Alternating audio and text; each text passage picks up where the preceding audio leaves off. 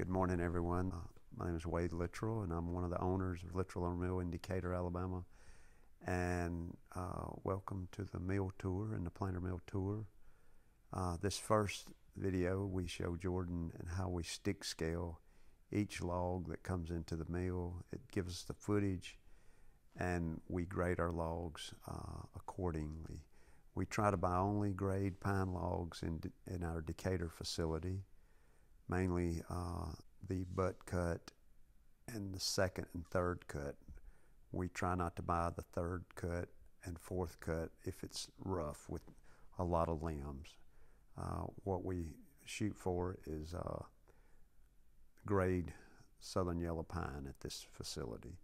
Right here you see the loader loading logs onto the log deck. Uh, the first process is uh, putting the logs through the debarker. And this process just removes the bark from the log. And uh, we do this and to save the blades from uh, any objects that may be in the bark, say of rocks or dirt. Uh, also, we use the bark for uh, mulch in landscaping, so there's no waste in this process at all after the logs are debarked, they will travel through this blue uh, is a metal detector and it will stop if it detects any kind of metal inside the log and it will we will kick it out and then go over it with a hand metal detector to see if we can salvage the tree by removing a nail or a bullet or something. The next process is uh, the log will be rode onto the carriage. and this is the first process of breaking down the log. What this, uh, the sawyer will do here is remove the two edges to determine the width of the board. We saw 12, 10, 8, 6 inch width boards. That log right there required, it was a 10 inch wide board and then he will remove the other two edges because it is a grade log which will travel then to the vertical resaw which will be used to break the, the log on down into individual pieces one piece at a time. This is just a way of speeding up the process. And this pine log right here it's probably about a 24 inch in diameter and it will be cut down, he will have to take uh, several sideboards off. These one inch boards will travel down to what we call the board edger, and what it will do is remove the two live edges and make the board into the desired width. And the width uh, is going to be a 12 inch wide piece, a 10 inch wide piece, 8 inch, or 6 inch, or even a 4 inch piece. That's what you're seeing here. This board's traveling on down and, and it goes into a machine that has just two edge, two saws that remove the outside edge. The little bit you can see of those big pieces, that is going to the vertical resaw where he will just take one board at a time all the way through. This is the board edger that you're watching right here and what it's doing is just determine the width of the board that it will make and taking off the two edges that are unsquare. The thick pieces that from the head saw, they are brought up to a horizontal bandsaw that is laid down on on its side and we can recover out of the the slab, the round part, which is called a slab, we will recover one inch boards and it's just a merry-go-round that will if it will make another one inch board he will return it back to him. All this one inch material that you're watching right here will be used uh, in a high grade such as a V joint or tongue and groove flooring uh, picture frames. There's a lot of different uses of it. It's just a high grade four quarter lumber. The low grade logs we only remove two sides of the log and then we dump it to this machine here is uh, known as a gang saw and it's just a bank of saws that are spaced out like for one inch two inch and there's even like a six inch hole that you can make a six by six out of that for like post for fencing or barns or deck materials like that. But this is a low grade log. They're just uh, it's just a quick way.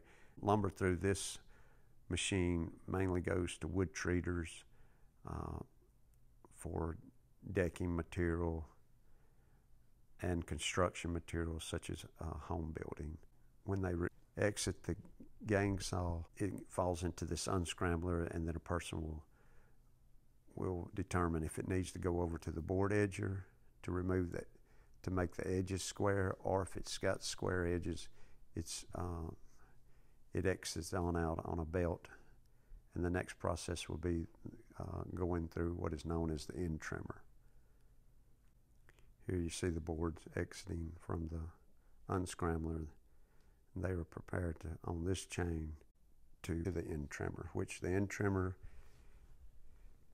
is the is just a saw machine that squares the ends. It cuts each board to the uh, its designated length, and it's square, and it just makes it easier for the next process of drying, so that you can stack them in there closer.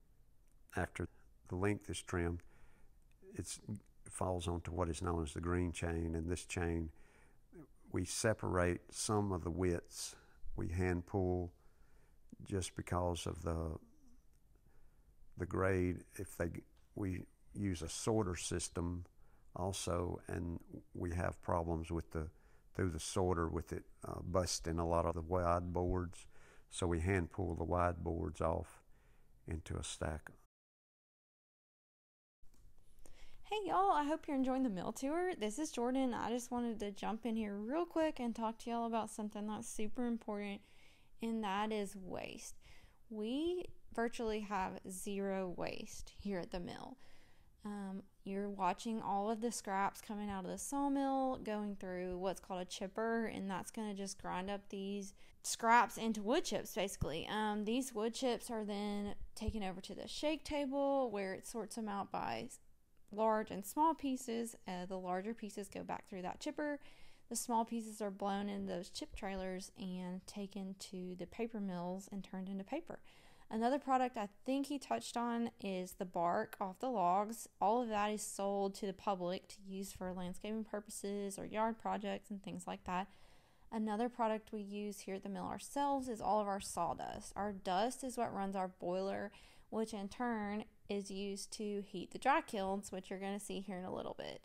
Uh, we can produce 50 tons of chips a day, which is about two trailer loads. So that's that's a lot of product that we're able to turn into something else uh, pretty useful. So, anyways, um, I hope y'all are enjoying the mill tour. I'll let y'all get back. Thanks. After it exits the green chain, what is not hand pulled, we bring over to what is known the sorter. And this is just what we use to separate the different widths and lengths of the wood.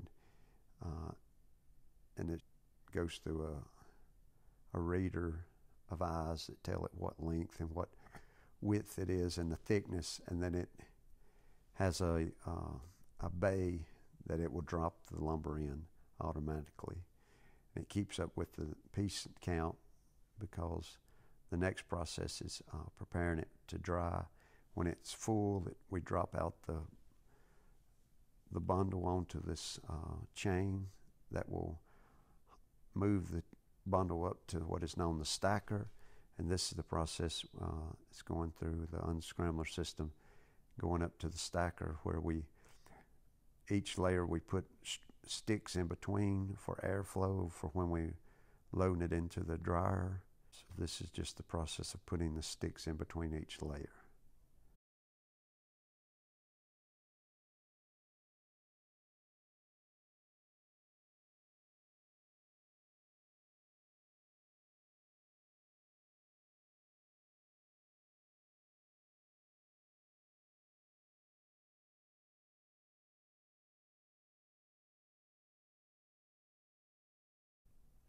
After the sticks have been laid, it's ready to go to the staging yard for waiting on the uh, dryer to open. And each dryer holds about 100,000 board feet. Uh, it takes 60 hours to uh, dry four quarter southern yellow pine, which is really a one inch board, down to 12% moisture content. It starts out around 60%, and it will take 60 hours at like 180 degrees. After it, it exits the dryers, it's ready for the planer mill, and we will hold so much lumber till we get like two days running of each width. And then this machine, it will smooth the lumber down all four sides. It does the top and bottom and the edges to the desired width. After it exits the planer, it's on the grading table, which each piece is hand inspected and graded. And if it has a, a end that's too much wane, it will be trimmed back through another trimmer system and he's looking for knot size, crook, uh, the number of knots. If it's a clear piece, it will go as a C grade. If it's got just a few small knots, it will go as a D grade, and then a number two. And then if it, the knots are too big or too much wane, it was graded into a number three, which is used for crating, and that's your low grade lumber. Your number two, D, and C is used for flooring uh, V joint tongue and groove, beaded ceiling, nickel gap uh, siding interior homes, and some is sold even as S4S.